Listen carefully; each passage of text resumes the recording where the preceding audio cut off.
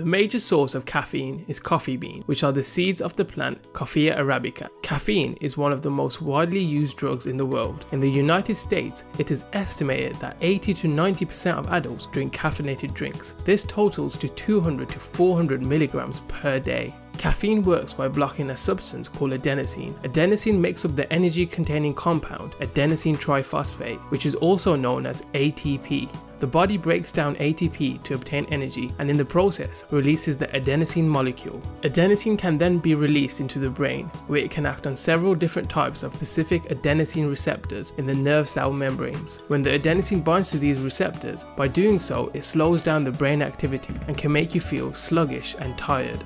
The level of adenosine increases throughout the day, and hence is the reason why you feel more tired and sleepy towards the end. Caffeine can prevent this by outcompeting adenosine for its receptor site. Caffeine can then bind to the receptor site as it has a similar shape to that of adenosine, but not the exact as it cannot activate the adenosine receptor. By doing so, caffeine can act as a stimulant and gives us the boost we crave when we drink coffee.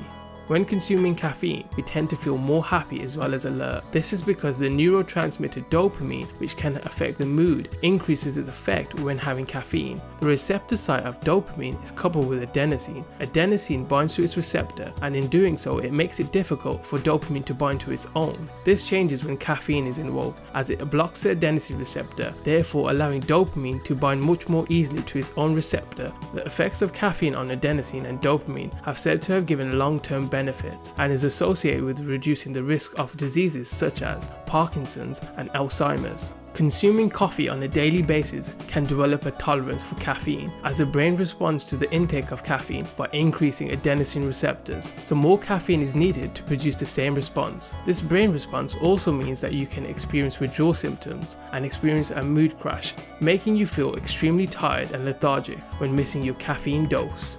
Like most drugs, caffeine can have negative side effects. It can increase your blood pressure as well as your heart rate. It can also contribute to insomnia as well as anxiety. Don't forget to like, comment, and subscribe.